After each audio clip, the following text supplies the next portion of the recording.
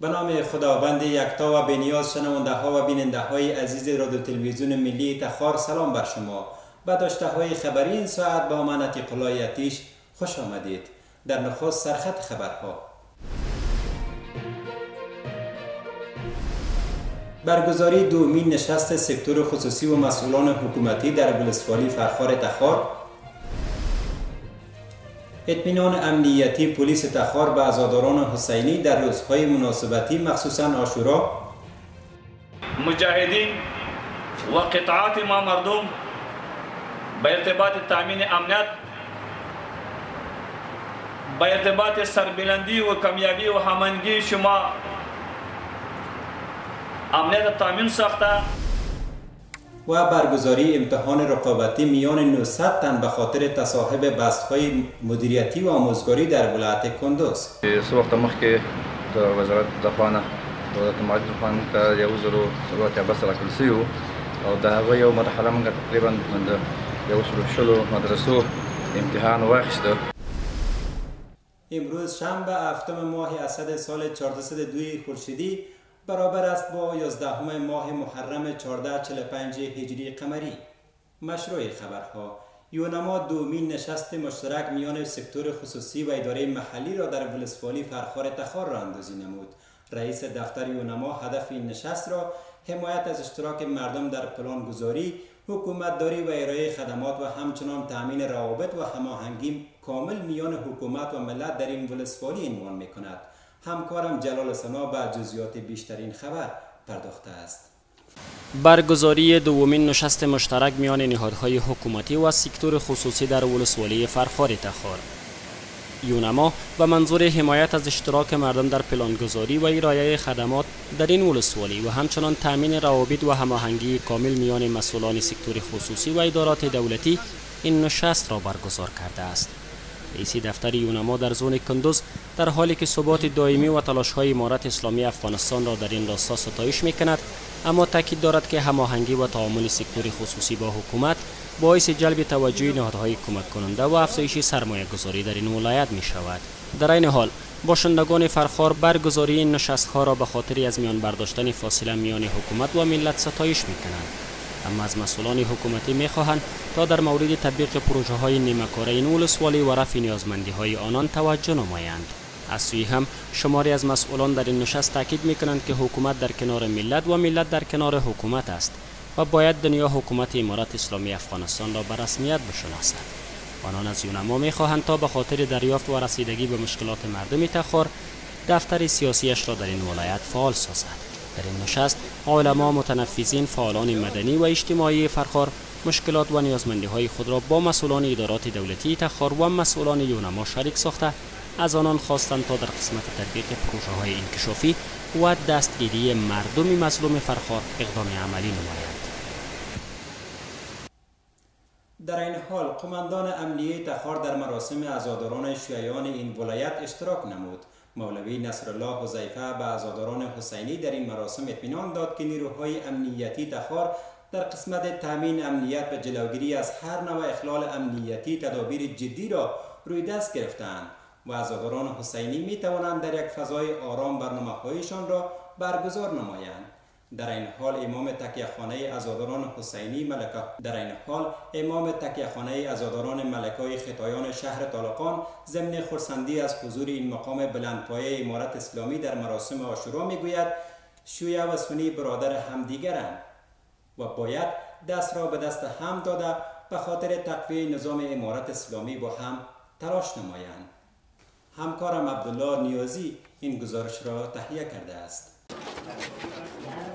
مولوی نصرالله حذیفه قماندان امنی ولایت تخار همراه با شماری از منصوبین ادارش به تکیه خانه ملک های خطایان رفته و در مراسم عزاداری شیعیان این ولایت اشتراک نمود. قماندان امنی تخار در این مراسم به اهل تشیع این ولایت اطمینان داد که نیروهای امنیتی تخار در قسمت تأمین امنیت و جلوگیری از هر نوع اخلال امنیتی تدابیر جدی را روی دست گرفتند و عزاداران حسینی می توانند در یک فضای آرام و مسالمت آمیز مراسمشان را راه اندازی نمایند. مجاهدین و قطعات ما مردم به ارتباط تامین امنیت با ارتباط سربلندی و کامیابی و همانگی شما امنیت تامین ساخته و امنیت تامین میکنه به خاطر کامیابی شما خدا نخواسته خدا نخواسته نباید که در آینده و برادران اهل تشیع در وقت مراسمشان کدام تهدید امنیتی صورت نگیره کدام مشکلات دهشت و وحشت صورت نگیره که ملت شریف ولایت تخار در احتجاج صورت بگیره در این حال امام تکیهخانی عزاداران ملک های خطایان شهر طالقان ضمن قدردانی از حضور مسئولان امنیتی در مراسم آشورای حسینی تاکید نمود که افغانستان دارای اقوام و مذاهب مختلف است اما همه مسلمان و در زیر یک پرچم برادرانه زندگی می کنند و ای تدابیر نیروهای امنیتی امارت اسلامی را به خاطر برگزاری مراسم عزاداری حسینی در سطح کشور ستایش می کند. ملت افغانستان اهم است جامعه برادران اهل تسنن و اهل تشیع باید همه متوجه باشند که شیعه و سنی برادر همه همه اعضای یک پیکرند در افغانستان. همه باید به حیث یک عضو وظیفهشان را باید انجام بدهند و احساس مسئولیت بکنند. دهم ماه محرم روز آشورا است. این روز برای مسلمانان مخصوصا اهل تشیع از مهمترین روز عزاداری محسوب می شود در این روز حضرت امام حسین بن علی با 72 یارش در واقع کربلا به شهادت رسید. اکنون توجه فرمایید به چند خبر کوتاه.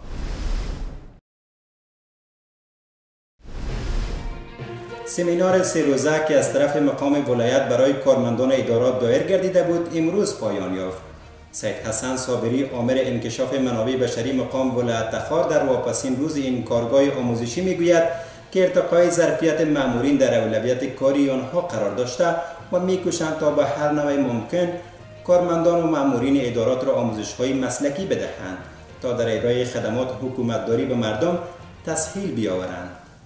در این حال اشتراک کنندگان این کارگاه آموزشی ضمن تشکری از رهبری مقام ولایت می‌گویند که راه اندازی چنین ورکشاپ ها می تواند در جهت کار بهتر در اداره آنان را کمک نماید.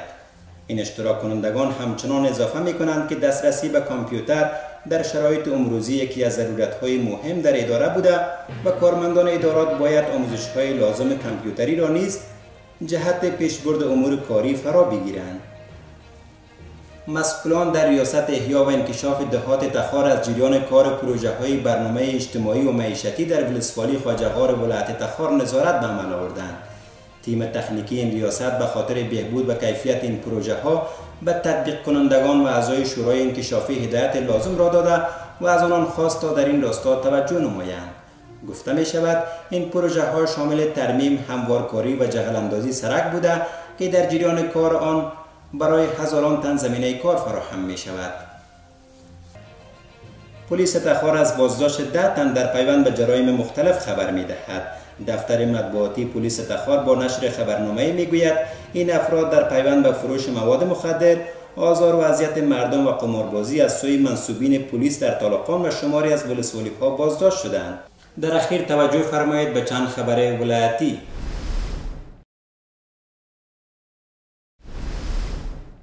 بیشتر از 900 تن از علمای دینی امتحان رقابتی بستهای معلمی و آمریت در مدارس دینی را سپری نمودند. مسئولان در ریاست معارف کندوز از شفافیت در نتیجه این آزمون رقابتی سخن گفته میافزایند افرادی که با بلندترین نمره را عکس نمایند در چوکات اداره معارف استخدام می شوند. همکارم عبدالحمید صدیقی از ولایت کندوز این گزارش را فرستاده است. 930 تن از عالمان دینی از مرکز و ولسوالی های کندوز امتحان رقابت پست های خالی تعلیمات اسلامی ریاست معارف که جدیدن ایجاد شده است سپری نمودند. مسئولان در ریاست معارف کندوز از شفافیت در این آزمون رقابتی سخن گفته میافزایند. افرادی که بلندترین نمره را در این رقابت از خود نمایند در پست های خالی تعلیمات اسلامی ریاست معارف استخدام خواهند شد. دا هغه امتحان ده چې څو وخت مخکې د وزارت د خوا نه دولت مالیې د خوا ته یو زرو څلور اتیا بس راکړل سوي او د هغه یو مرحله موږ تقریبا د یو سلو شلو مدرسو امتحان واخیسته تقریبا درې سوه کسان پکې هغه امتحان او اشتراک کړی ان شاء الله شفافه موضوع ده سوالونه به ان شاء الله موږ د جهادي مدرسې استادان کې دي. هغوی به دغه پرچې ګوري ازموینه کې کامیاب علما به ان شاء الله استخدامیږي او د ناکام پاړه به ان شاء الله بعدا بیا بل فیصله وکړي. در همین حال اشتراک کنندگان این آزمون از روند برگزاری این امتحان رقابتی اظهار رضایت نموده. خواهان اعلام نتایج به گونه شفاف و حق به حقدار می باشند.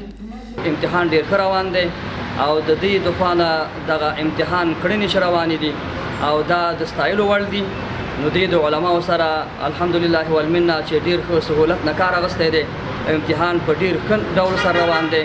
قابل ذکر است که این عالمان دینی پیش از این نیز دور اول این امتحان را با شفافیت کامل سپری نموده بودند و این دور نهایی آزمون می باشد. بله شنونده ها و بیننده های محترم رادیو تلویزیون ملی تخار رسیدیم به پایان مجموعه خبری این ساعت. تشکر از شما و از همکارانم در بخش تکنیک و نشرات. حالا از شما دعوت می‌کنیم تا برنامه های جالب و دیدنی تلویزیون ملی افغانستان را فراموش نکنید. بقیه اوقاتتان خوش الله بزرگ نگهبانتان.